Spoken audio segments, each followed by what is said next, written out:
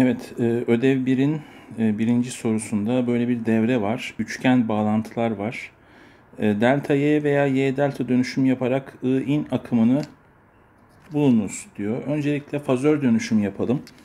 Omega eşittir 50 radyan bölü saniye olduğuna göre burası 50 kere 84 bin miliyi de katarsak J4 ohm oluyor. E, burası 50 kere 168 bin. Bu da J8 ohm oluyor. E, eksi J bölü 2,5 çarpı 10 üzeri eksi 3 çarpı 50 e, 1000 bölü 125 yani eksi J 8 ohm eksi J 8 ohm burası 5 ohm burası eksi J bölü 10 bölü 3 çarpı 10 üzeri eksi 3 çarpı 50 eşittir e, 3 0.5 eksi J 6 oluyor. E, delta Y dönüşümü yapacağız. E, üstteki üçgeni e, dönüştürelim. E, burada RA, RB, RC şeklinde bir üçgen bağlantı varsa bunu R1, R2, R3 şeklinde bir e, yıldız bağlantıya çevirmek için e, mesela şu e,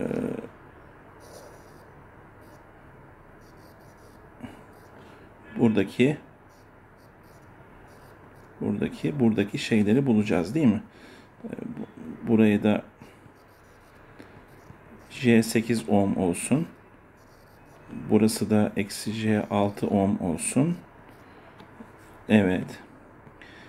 Ee, Z1 Z2 Z3 ee, Z1 eşittir eksi J8 J4 bölü eksi J8 artı J4 artı 5 yani 40 bölü 5 eksi J4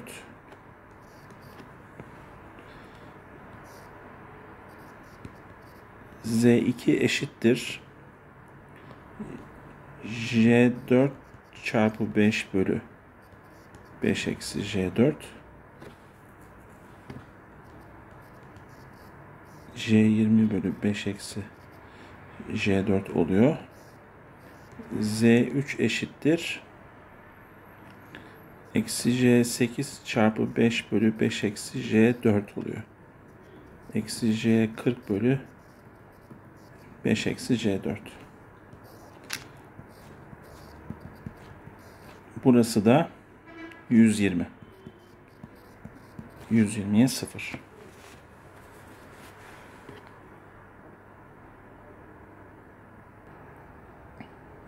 Evet. Ee, şimdi bu delta y dönüşümünü yaptıktan sonra z1 ve z2 ve z3'ü kesirli halden e, normal kartezyen hale getirdim. E, burada gördüğünüz gibi Z3 ile J8'i topladım. Z2 ile J eksi J6'yı topladım. Ee, Z eş eşittir. Z3 artı J8 paralel. Z2 eksi e, J6 artı üzeri üzerindeki Z1 yani 4.88 artı J 3.90 oluyor. Evet. E, kaynağın gördüğü eşdeğer direnç Z3 artı J8 ve Z2 eksi J6'nın paralel bileşeni ve bunlara seri olarak Z1 yani 4.88 artı J 3.90. Bunları topladığım zaman buradaki sonucu buluyorum. 120'yi de buna böldüğüm zaman e, buradaki giriş akımını bulmuş oluyorum. 9.85 artı J 6.13. Güç kaynağının devreye sağladığı ortalama gücü bulunuz. P eşittir. Burada RMS olarak verilmemiş 120. Dolayısıyla 1 bölü 2 i in eşlenik. Bunun da reel kısmı. Yani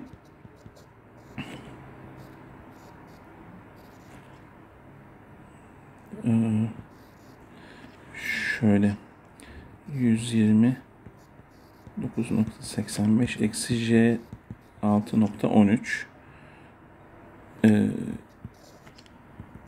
böyle 2 çarpı 120 çarpı 9.85 1 bölü 2 çarpı 120 çarpı 9.85 yani 591 watt ortalama güç veriyor. Evet. İkinci soruda devrede giriş gerilimi 5 VOT çıkış geriliminin giriş geriliminden 90 derece geri olması için R ve C arasındaki ilişki ne olmalıdır? Fazör dönüşümünü yaparsak 1 bölü J omega C 1 bölü J omega C burası VO burası VO burası VO buraya da V1 diyelim. Burası da zaten 5. Burada şu düğümde ve şu düğümde düğüm gerilim e, düğüm denklemlerini yazacağız.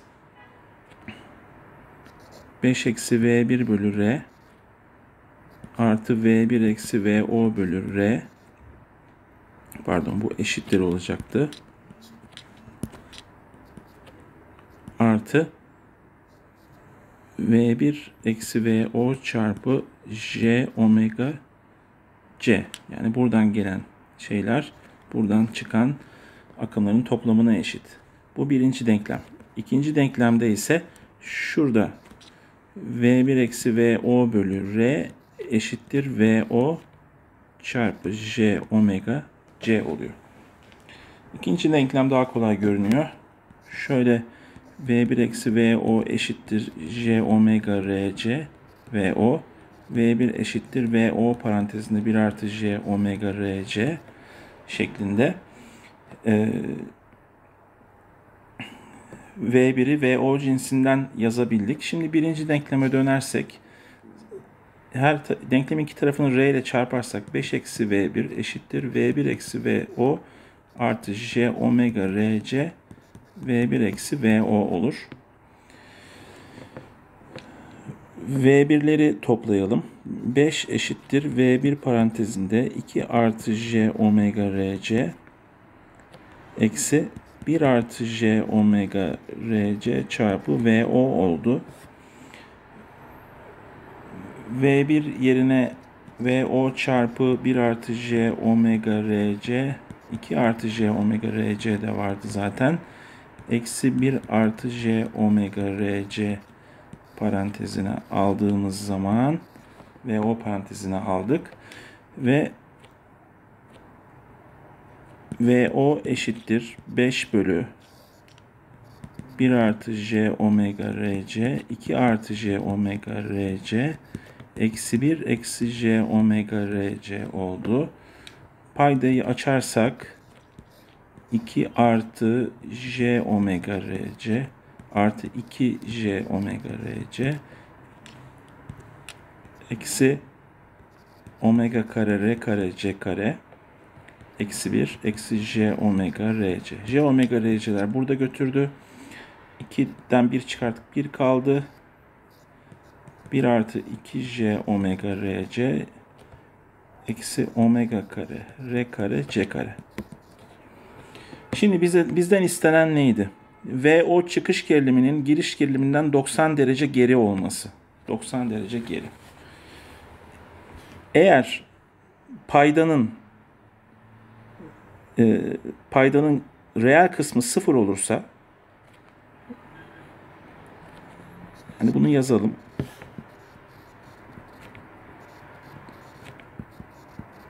kısmı sıfır olursa VO eşittir 5 bölü 2J omega RC. Yani 5 bölü 2 omega RC'ye eksi 90 olur.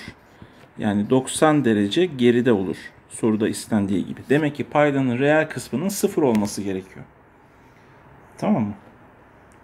O zaman 1 eşittir omega kare r kare c kare. Omega neydi? Omega 1000'di.